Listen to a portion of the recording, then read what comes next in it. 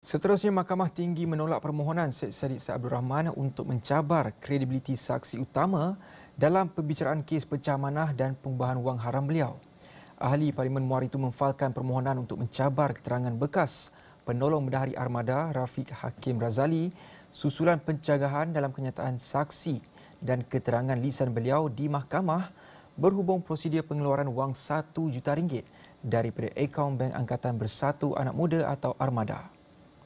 Pesuruh Jaya Kehakiman Datuk Azhar Abdul Hamid memaklumkan penyataan saksi Rafiq Hakim yang tidak dikemukakan kepada mahkamah tidak boleh digunakan untuk mencabar kredibiliti beliau.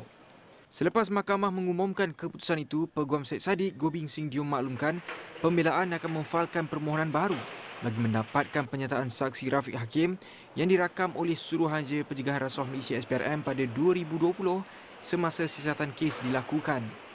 Timbalan Pendakwa Raya Datuk Wan Syahrudin Wan Ladin bagaimanapun membantah kerana tiada lagi keperluan untuk mencabar kredibiliti Rafiq Hakim memandangkan beliau sudah mengaku ada percanggahan dalam keterangannya di mahkamah dengan penyataan saksinya.